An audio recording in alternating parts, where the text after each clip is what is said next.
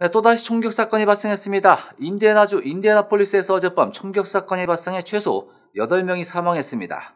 범인은 현장에서 스스로 목숨을 끊었습니다. 네, 경찰에 따르면 총격 사건은 어제 인디애나폴리스 국제공항 인근에 있는 대형 운송업체인 페덱스의 한 시설에서 일어났습니다.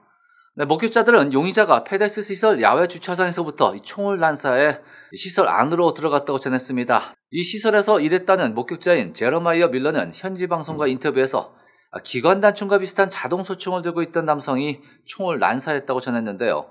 지네이쿡 인디애나 경찰 대변인은 오늘 기자회견에서 이번 총격 사건 과정에서 여러 명이 부상까지 입었다며 부상자들은 치료를 위해 현재 인근 병원으로 후송됐다고 전했습니다. 국 대변인은 부상자 중 한 명은 중사이며 또 다른 두 명은 가벼운 부상으로 현장에서 치료를 받고 귀가하기도 했다고 설명했습니다. 경찰은 용의자가 이미 사망한 상태라며 출동한 경관들 중에서는 부상자가 나오지 않았음을 전하기도 했습니다.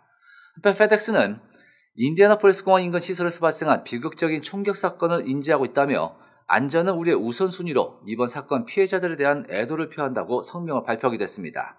이어 페덱스 측은 사법당국의 수사에 협조하고 있고 사건에 대해 더 많은 정보를 얻기 위해 노력하고 있다고 전했습니다.